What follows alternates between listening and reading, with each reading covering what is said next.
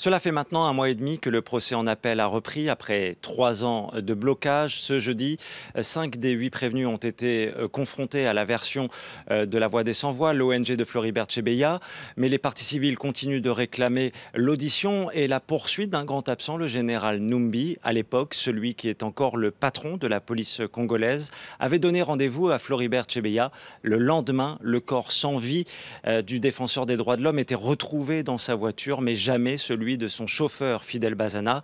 Résultat, la sœur de Floribert Chebeya continue de pleurer la mort de son frère et ne croit plus en ce nouveau procès. Avec la justice ici, notre justice congolaise, je n'ai pas confiance.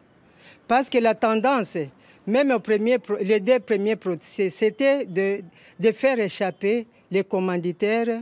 Quelqu'un qui veut dénoncer une violation je ne vois pas comment on peut perdre une personne de son rang, des renommées de Floribert Chébé.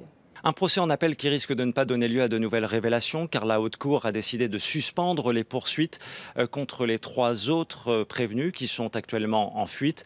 Parmi eux pourtant un témoin clé, Paul Mouilamboué, réfugié au Sénégal et qui promettait pourtant euh, des révélations fracassantes sur son ex-patron, un certain John Numbi.